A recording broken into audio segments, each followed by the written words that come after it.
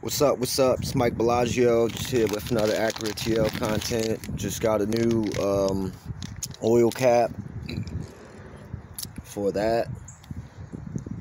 You know, I like the metal aluminum can um, cap a lot better.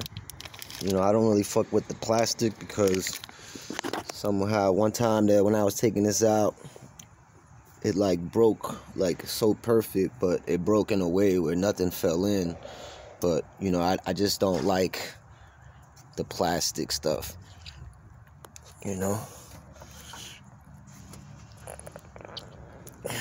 So Yep.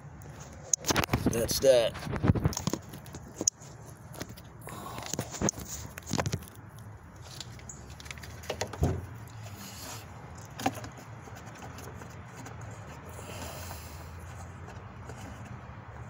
See this plastic shit? This shit could break. All this shit could break right here, you know?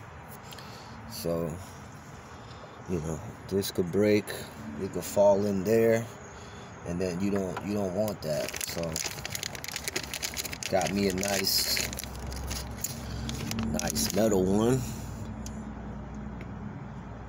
Aluminum. It's got the gasket and everything. And uh, that's it, fellas.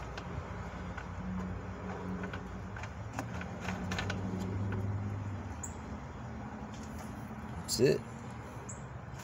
Looks great. And you put the old one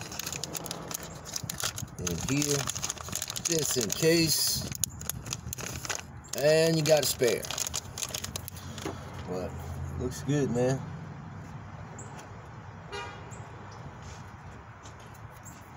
Looks good.